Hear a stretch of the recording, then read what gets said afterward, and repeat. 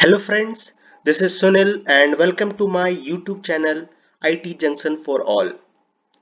So today I am going to discuss about the scenario based interview question and answer part 5. So the, the table which is shown here is order table and it contains four columns namely order day, order ID, product ID, quantity and price. So basically this, this table contains two days data first the highlighted one is the first May data. The one without highlighted one is the second May data. And it has all the details transaction details that which product got sold that is product ID and what what is the order ID and the number of quantity it got sold and what is the price of that product. So now let's go back go to the problem statement. So first problem statement write a SQL query to get all the products that got sold on both the days and, and the number of times the product is sold. So we have to write a SQL query which got which will display the products that is the product ID that got sold on both the dates that is the first May and the second May and number of times the product is sold. So if we go back to our our order table let's see for example we take the product product id product 1 so if we see the product 1 it got sold on the first may and again it got sold on the uh, uh, on the first may with order number 4 and this product is again sold on the second may with order number 7 so this product if you if you if you look at the table this pro this product id got sold on both the days. That's why it is available in our output table. Product 1 it got sold for three times. That's why the count is 3 similarly if we see the product id equal to product 2 it got sold on the first may and again it got sold on the uh, sec uh, on the second May if you see that order number 10 it again it got sold. So it is it is getting sold on both the both the days. That's why it is available in our output table. If you see the uh, the other product like product number 4 which got sold only on the second May but not on the first May. So that's why it is not available in our output table. Now let's go back to our to our second problem statement. The second problem statement says write a SQL to get the products that was ordered on 2nd of May but not on 1st May. So let's go back to our main table. If you see many of our product is sold on both the days like see product number one got sold on the with order ID order one sold on the 1st May and again it got sold in the second May. But we don't want such data. We want only the product which got sold on 2nd May. That only product has to be displayed. So if you if you see our product ID product number 456 is there. If you see the data here product 4 is it, it is it is sold only on the 2nd May. Product number 5 it is only on the uh, sold on second May. It is not present in the first May. And product number six it is again it is sold only on the second May not not on the first May. That's why it is there in our output table.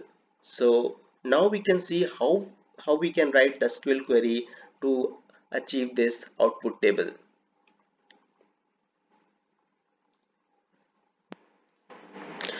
Uh, this question has been asked in Amazon interview questions uh, for the role of data analyst. So now we'll try to solve the first question that is the write a SQL query to get all the products that got sold on both the days that is 1st May and the 2nd May and number of times the product is sold. So what what I am doing over here I am selecting the product ID because we want the product name to be displayed and the count of product ID that is the, that will give the number of times the product is sold. And I am adding additional column called count of distinct order day. So this will give when uh, this will show or display how many days are involved for that product ID and I'm, I'm, I'm selecting these columns from the order table and I'm grouping by product ID so if I run this piece of code we'll get the result as product 1 got 3 times and if we say if we see the both account uh, here the third column is returning value as 2 that means distinct or distinct of date is 2 that means both the date is involved. So if I if I filter out the unwanted records by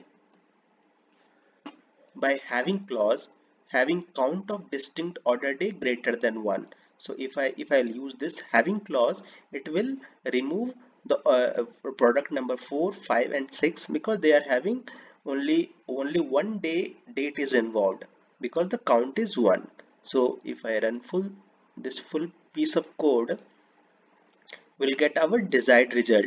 So but we don't want the third column so we'll comment this.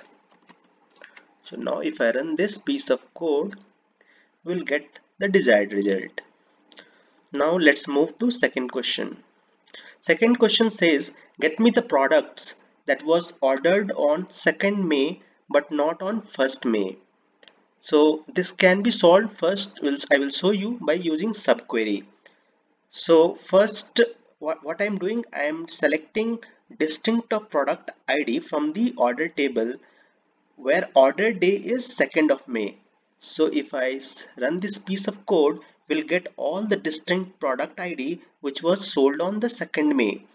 But out of this list out of this list there are many products which got sold on 1st May also but that needs to be discarded. So how how we can discard those uh, product id so what we'll do we'll add, add another clause here and product id not in wherein we'll provide the subquery select product id from order table where order day is 1st of May. So he, this subquery will this sub this subquery will return all the products product id which was sold on 1st of May. So, so what I am doing over here we are selecting all the product ID which was sold on the 2nd May and then we are filtering it those product ID which are which are present in this subquery. So if I run this full piece of code we'll get our desired result. There is another way we can do this question by using join. So here what I'm doing I'm selecting product ID from the order table for the second May and keeping this uh, result set in the subquery A. And again I am selecting the product ID for, for or, uh, from the order table for first May. So these are the product which got sold on the first May. Now I'm doing a left join between the result set of first and the second on the product ID so and we are selecting product id from a table and the b table. And if i run this piece of code we'll get the both the result because it's a left join we'll get the matching records between the a table and the b table. A table is the one having containing the product id uh, for the second may and the b table is the one uh, which uh, which contains the product id for the first may. So it has uh, it has both matching and the non-matching. But we want only the non-matching records. That means the one which is having a b dot product id as null. Those records our those records will fulfill our requirement. So if i run this full piece of code let me uncomment this. We get our desired desired result. So we don't want the p dot product id so if I run this full piece of code we'll get our desired result. There is another way also to solve this question. That is a very simple basic way to solve this. This is the by using except query. So what we are doing we are selecting product id from the order table where order day is 2nd May. And then we are doing a except except key using except keyword and then selecting product ID where order day is 1st May. So if we run this full piece of code, we'll get our desired result that is product 4, 5 and 6. So these are the three met methods by which we can solve this question. So if you like this video, please like my video and please subscribe my channel. Thanks for watching. Thank you.